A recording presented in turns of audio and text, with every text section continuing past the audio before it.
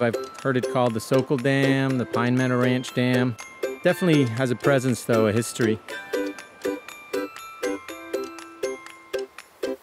From 30,000 feet, one would think that getting fish past the dam and keeping them in the creek would be pretty easy, but it's not that simple, though.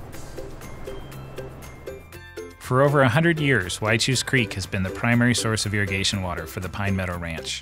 From the dam, water flowed nearly a mile down an irrigation ditch to the ranch. That's how the water got here. The original dam, which was big logs, diverted it into the ditch, which came from there down to the ranch. It was 1994. My brother was tired of the dam washing out all the time, the old one, and my brother never did anything kind of.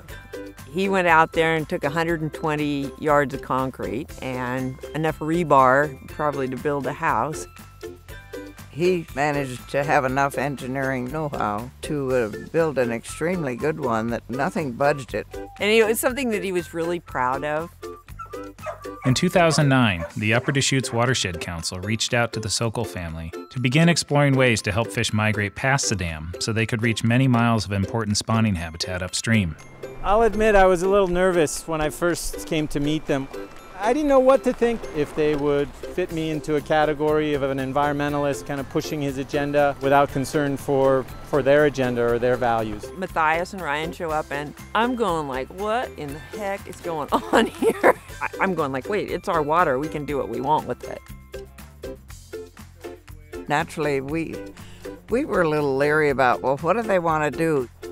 We told them that one of the options available to them was to leave the dam in place and, and address fish passage. But with reintroduction of salmon and steelhead well underway, there was going to be a lot of attention brought to the dam. While the irrigation dam worked well for many years, its operation and maintenance ultimately became a burden for the ranch.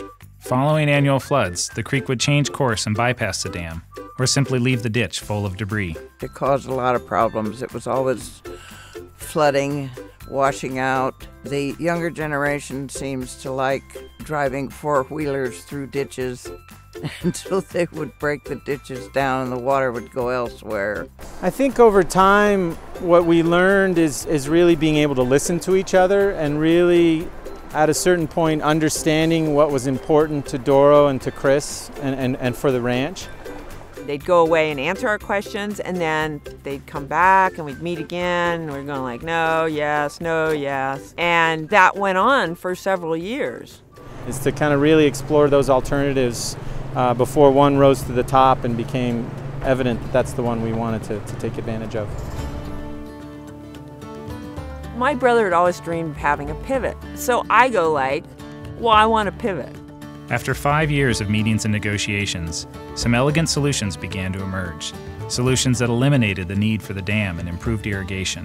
Solutions that would also open the door to more holistic restoration of the entire stream ecosystem. I'm very pleased with the way the pivot operates because it creates much better continuous water on the land.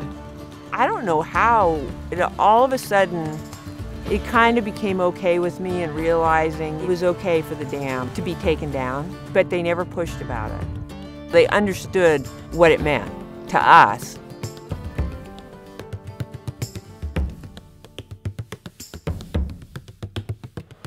Seeing the dam coming out after five years of all this work, it's pretty exciting, I'll admit. In the end, it was representative of all the time we had spent finding the right solution.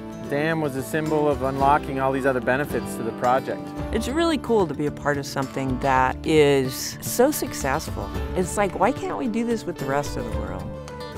My son-in-law, who is an avid fly fisherman, as I was, caught three fish the other day in the creek.